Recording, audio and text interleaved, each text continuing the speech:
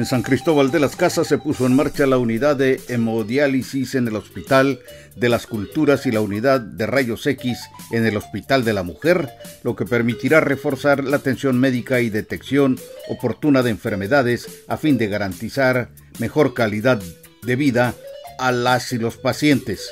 Luego de hacer un recorrido y constatar que ambas áreas están funcionando de manera eficiente, el gobernador Rutilio Escandón Cadenas destacó que la operatividad de estos espacios es muestra de que en la entidad se redoblan los esfuerzos para seguir respondiendo a las propuestas en materia de salud.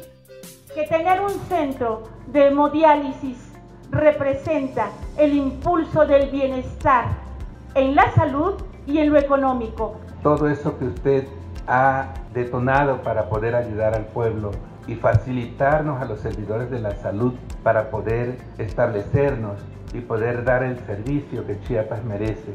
Y de todo corazón a médicos, enfermeras, radiólogos, laboratoristas y a todo el personal que conforma el Hospital de las Culturas.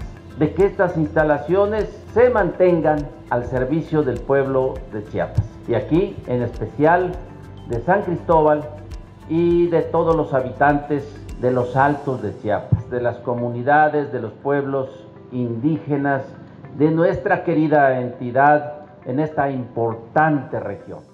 Al manifestar que estos resultados no son producto de la casualidad, sino de la suma de voluntades de las instituciones, de los distintos sectores sociales y del propio pueblo, el gobernador reiteró el llamado a no confiarse y seguir acatando las medidas preventivas contra el COVID-19, sobre todo en el marco de este Día de las Madres. Soy Dani Flores Meneses, esta fue mi crónica.